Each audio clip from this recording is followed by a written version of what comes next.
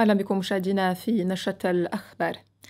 ذكر بلاغ لوزارة الشؤون الخارجية والتعاون الإفريقي والمغاربة المقيمين بالخارج أن المملكة المغربية التي يرأس عاهلها صاحب الجلالة الملك محمد السادس لجنة القدس تجدد التعبير عن قلقها البالغ واستيائها العميق في ظل استمرار الأعمال العسكرية المتصاعدة وتفاقم الأوضاع الإنسانية في قطاع غزة. نتابع. بلاغ لوزارة الشؤون الخارجية والتعاون الإفريقي والمغاربة المقيمين بالخارج. ذكر أن المملكة المغربية التي يرأس عاهلها صاحب الجلالة الملك محمد السادس نصره الله لجنة القدس تجدد التعبير عن قلقها البالغ واستيائها العميق في ظل استمرار الأعمال العسكرية المتصاعدة وتفاقم الأوضاع الإنسانية في قطاع غزة. وأكد بلاغ الوزارة أنه بعد أكثر من ثلاثة أسابيع من اندلاع المواجهات المسلحة لا زال استهداف المدنيين مستمرا مخلفا آلاف الضحايا من الأطفال والنساء وعشرات الآلاف من الجرحى والمنكوبين والمفقودين. كما تزايد إطلاق الصواريخ والقذائف على المنشآت المدنية بشكل عشوائي. وأرغم أكثر من مليون شخص على النزوح وحرمت الساكنه من الماء والكهرباء والوقود مما ترتب عنه وضع انساني كارثي. ويضيف البلاغ تؤكد المملكة المغربية أن جميع هذه الأعمال التصعيدية الإسرائيلية تتنافى مع القانون الدولي الإنساني والقيم الإنسانية المشتركة وتنذر بتمدد الصراع داخل الأراضي الفلسطينية واتساع رقعة العنف بشكل خطير ليشمل مناطق مجاورة مهددا أمن واستقرار المنطقة بأسرها. كما أكدت وزارة الشؤون الخارجية والتعاون الإفريقي والمغاربة المقيمين بالخارج أنه لا يسع المغرب إلا التعبير عن أسفه وخيبة أمله من تقاعس المجتمع الدولي وعدم تحمل مجلس الأمن لمسؤولياته وعجز الدول المؤثرة عن وضع حد لهذا الوضع الكارثي. وخلص البلاغ إلى أنه وإذ تجدد المملكة المغربية بقيادة جلالة الملك حفظه الله موقفها الداعم للسلطة الوطنية الفلسطينية ومؤسساتها الوطنية. بقيادة فخامة الرئيس محمود عباس فإنها تدعو إلى خفض التصعيد بما يؤدي إلى وقف لإطلاق النار وفتح ممرات إنسانية لتيسير دخول المساعدات بشكل سريع ومستدام وبدون عوائق وإطلاق سراح الأسرى والمحتجزين مع وجوب إرساء أفق سياسي الرئيسي للقضية الفلسطينية ينعش حل الدولتين المتوافق عليه دوليا. على صعيد آخر صدق مجلس الحكومة المنعقد أمس برباط برئاسة رئيس الحكومة عزيز خنوش على عدد من مشاريع القوانين والمراسيم.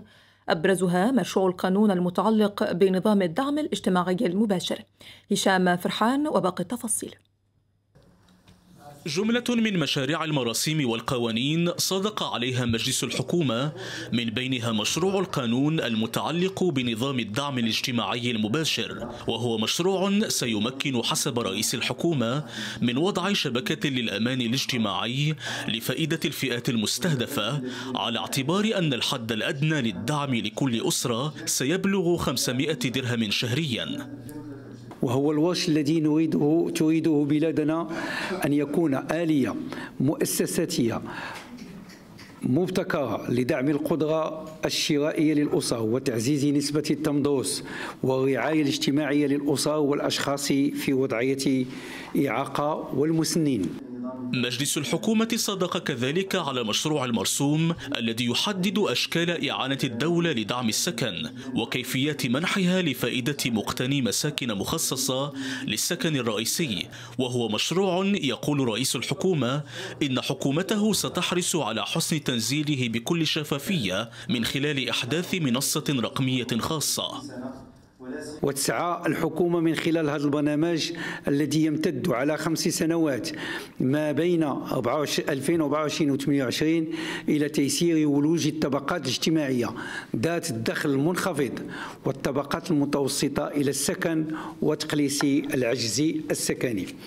كما نهدف من خلال هذا البرنامج الطموح إلى تعزيز الدينامية الاقتصادية وإعطاء دفعة قوية لقطاع الإسكان وتحفيز القطاع الخاص وخاصة المقاولات الصغرى والمتوسطة وخلق فرص الشغل كما صدق المجلس على مشروع القانون بإحداث الوكالة الوطنية للدعم الاجتماعي وهي مؤسسة عمومية سيعهد إليها بالسهر على تدبير نظام الدعم الاجتماعي المباشر وتتبعه وتقييمه بهدف الرفع من فعاليته. ويحدد مشروع هذا القانون على الخصوص مهام واختصاصات الوكالة وكيفيات تسييرها وتدبيرها. واختصاصات وتأليف مجلس إدارة الوكالة الذي يتكون من ممثلي الإدارة ومن المدير العام للوكالة الوطنية للسجلات بالإضافة إلى ثلاثة أعضاء مستقلين مشهود لهم بالكفاءة في المجالات المرتبطة بمهام الوكالة. مشروع مرسوم آخر صدق عليه مجلس الحكومة قدمه وزير العدل عبد اللطيف وهبي. ويتعلق الأمر بمشروع المرسوم بتحديد الخريطة القضائية الذي يهدف إلى تحيين الخريطة القضائية للمملكة وعقلنتها. وبرباط دائما احتضنت المكتبة الوطنية للمملكة المغربية حفلا تأبينيا مهيبا بمناسبة الذكرى الأربعينية لوفاة الفقيد أحمد شوقي بن يوب المندوب الوزاري المكلف بحقوق الإنسان وذلك بحضور شخصيات سياسية وحقوقية وإعلامية وزنة وعدد من أفراد عائلة الراحل وأصدقائه. صفية عثمان في المتابعة.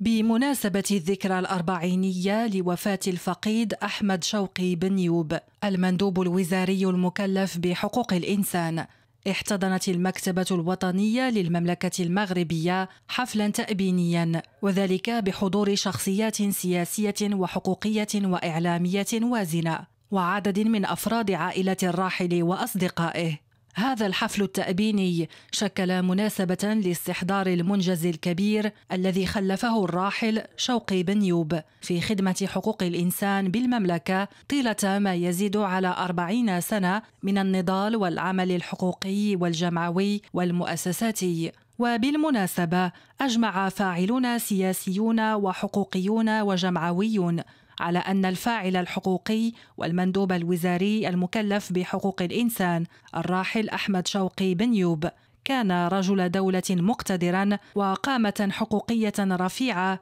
كرس حياته لخدمة حقوق الإنسان بالمملكة من مختلف المواقف التي شغلها قيد حياته. وأعرب أمين شوقي بن يوب أخ الراحل. في كلمة باسم عائلته عن خالص الامتنان وعميق التقدير لصاحب الجلالة الملك محمد السادس على برقية التعزية والمواساة التي بعثها جلالته لهم والتي استحضر فيها جلالة الملك بكل تقدير ما كان يتحلى به الفقيد العزيز من دماثة الخلق ومن خبرة وكفاءة مهنية وقانونية رفيعة أبان عنها في مختلف المهام السامية التي تقلدها لا سيما في مجال حقوق الإنسان. ساهم في المسار الحقوقي الوطني والدولي وكانت من الناس اللي غرسوا في التربة المغربية ثقافة حقوق الإنسان سواء مع المؤسسات الحقوقية أو مع المؤسسات الجامعية. فقدنا آه، فاعلا اساسيا في المنظومة الوطنية حقوق الإنسان. فقدنا كذلك آه، خبيرا آه، وذات معرفة واستعرضت باقي الشهادات التي قدمت خلال هذا الحفل الخصال الإنسانية والمهنية الرفيعة التي كان يتحلى بها الراحل وكذا إسهاماته القيمة في مجال حقوق الإنسان بالمملكة بما فيها كونه حاز شرف صياغة أول مسودة للتوصية المتعلقة بإحداث هيئة الإنصاف والمصالحة. كما تميز هذا الحفل بعرض شريط وثائقي يتضمن أبرز المحطات في مسيرة الراحل أحمد شوقي بن يوب. المرحوم أحمد شوقي بن يوب من الشخصيات التي بصمت التاريخ الراهن من خلال نضالاتها من أجل حقوق الإنسان ومن من خلال ما تم إنجازه سواء في إطار المؤسسات أو في إطار آه، الفردي الراحل أحمد شوقي بن يوب المزداد بمراكش سنة 1957 كان قد عين من قبل جلالة الملك محمد السادس في دجنبر 2018 في منصب المندوب الوزاري المكلف بحقوق الإنسان. وشغل الراحل عضوية هيئة الإنصاف والمصالحة والمجلس الاستشاري لحقوق الإنسان حيث ترأس مجموعة العمل المكلفة بالحماية والتصدي للانتهاكات. ثم مجموعة العمل المكلفة بدراسة التشريعات والسياسات العمومية. كما شغل على الخصوص منصب نائب رئيس المنظمة المغربية لحقوق الإنسان ومنصب مستشار لدى المرصد الوطني لحقوق الطفل. وفي سياق منفصل أكدت الحكومة خلال جلسة المناقشة التفصيلية لمشروع قانون المالية لسنة 2024 بمجلس النواب أن الزمن التشريعي مناسب لتوسيع نطاق الضريبة على القيمة المضافة المحددة في 20% وتمكين النظام الضريبي من مواكبة التطور الاقتصادي العالمي لا سيما فيما يتعلق بالتجارة الإلكترونية. نتابع تقرير رضوان مستقيم جلسة المناقشة التفصيلية لمشروع قانون المالية لسنة 2024 التي انعقدت بمجلس النواب. ركزت على مستجدات الإصلاح الضريبي المرتبط بالضريبة على القيمة المضافة من خلال تغيير وتتميم أحكام بعض مواد المدونة العامة للضرائب. وتم التأكيد خلال هذه الجلسة التي عقدتها لجنة المالية والتنمية الاقتصادية بحضور وزيرة الاقتصاد والمالية نادية فتاح والوزير المنتدب المكلف بالميزانية فوزي القجع أن الزمن التشريعي مناسب لتوسيع نطاق الضريبة على القيمة المضافة المحددة في 20% وتمكين النظام الضريبي من مواكبة التطور الاقتصادي العالمي لا سيما فيما يتعلق بالتجارة الإلكترونية. وفي هذا الإطار أوضح السيد لقجع أن هذا الإصلاح يهدف إلى مواكبة التقدم المتسارع الذي يعرفه الاقتصاد الرقمي لا سيما التجارة الإلكترونية. من خلال سن إجراءات ضريبية على القيمة المضافة وفق المعايير الدولية المعمول بها. وذلك بالتنصيص على الالتزامات الجبائية التي يجب تقديمها عبر منصة إلكترونية مخصصة لذلك لمحاربة الغش والتهرب الضريبي. مؤكدا أن هذا القرار الذي اتخذته الحكومة يرمي إلى إصلاح المنظومة الضريبية وليس ضرب القدرة الشرائية. وفي سياق ذي صلة تطرقت مداخلات النواب والنائبات إلى توسيع نطاق الإعفاء من الضريبة على القيمة المضافة دون الحق في الخصم منوهين بالمواد والمنتوجات الأساسية وذات الاستخدام الواسع التي سيشملها هذا الإعفاء. وفي موضوع آخر خلال تقديمه لمشروع الميزانية الفرعية للوزارة لسنة 2024 قال وزير الداخلية عبد الوافي الفتيت إن التعاقد بين الدولة والجهات يشكل آلية ناجعة لإعمال مبادئ التدبير والحكامة الجيدة. عبر صياغة برامج ومشاريع مندمجة تنبني على الالتقائية والانسجام والتكامل بين الرؤية التنموية للجهات والاستراتيجية الوطنية. عودة مع صفية عثمان.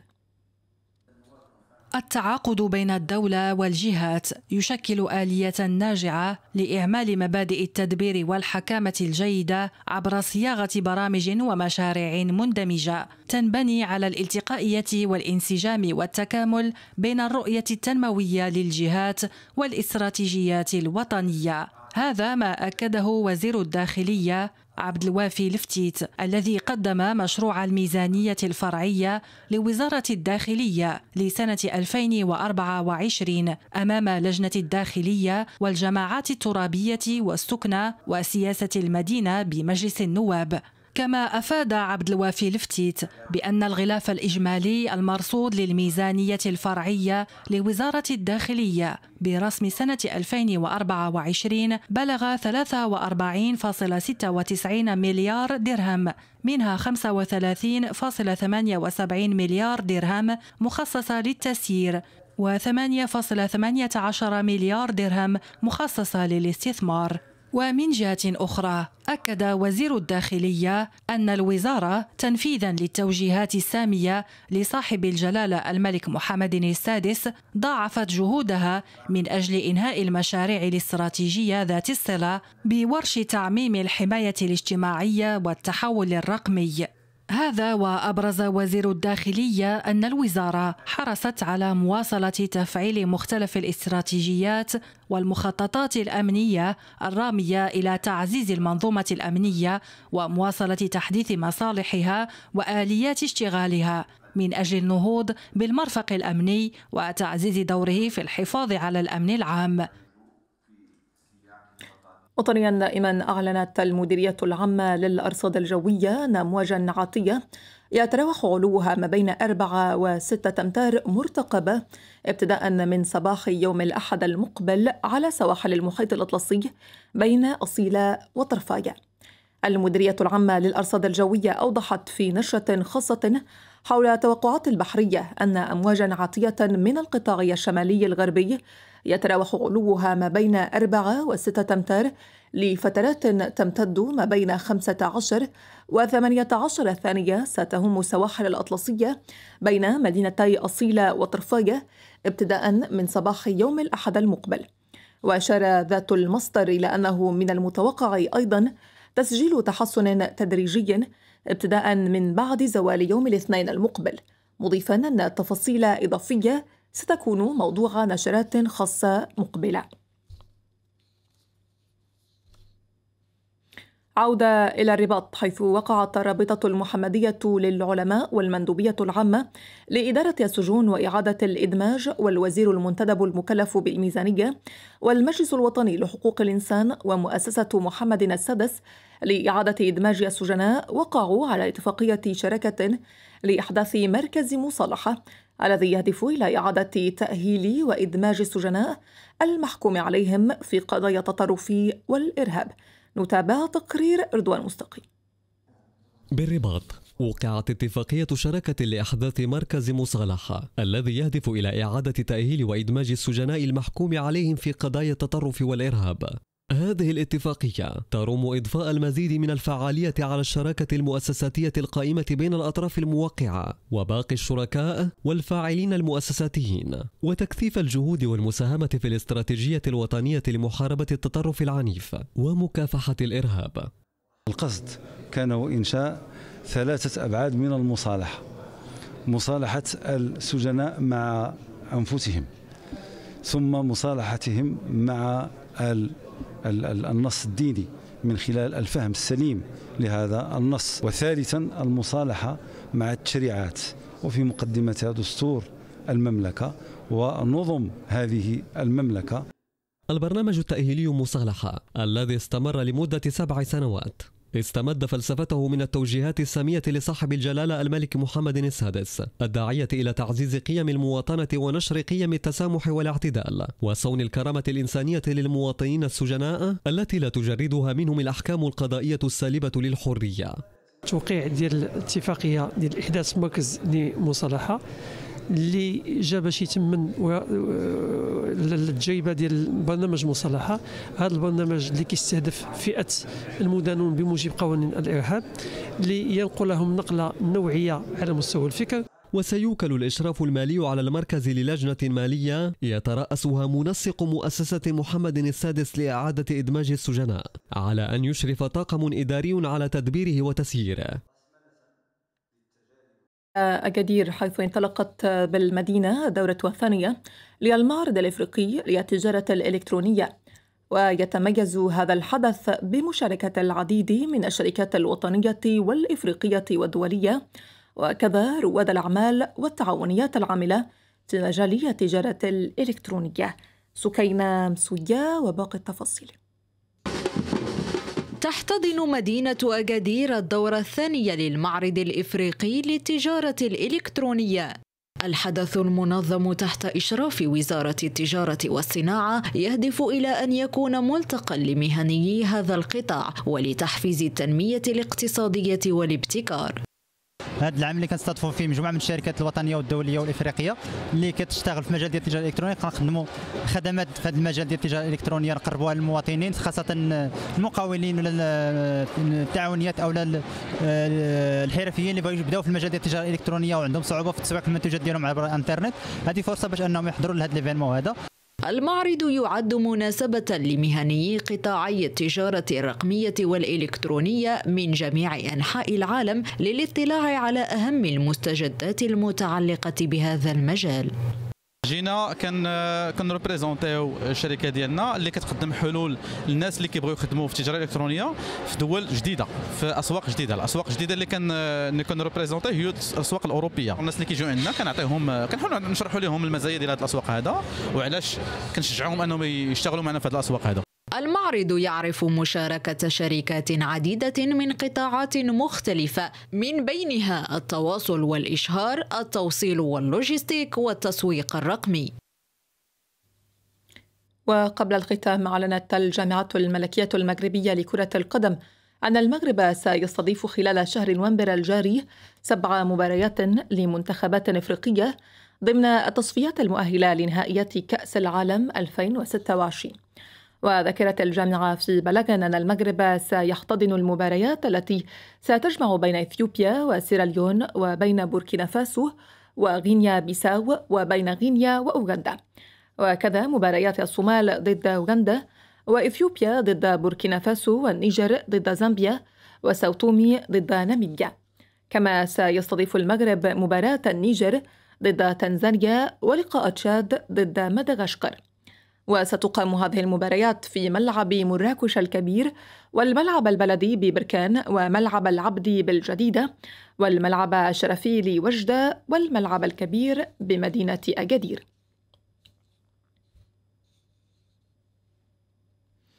بهذا الخبر الرياضي؟ نكون قد وصلنا مشاهدينا لنهاية النشرة لكن تغطيتنا مستمرة لأبرز الأخبار. دمتم في أمان الله.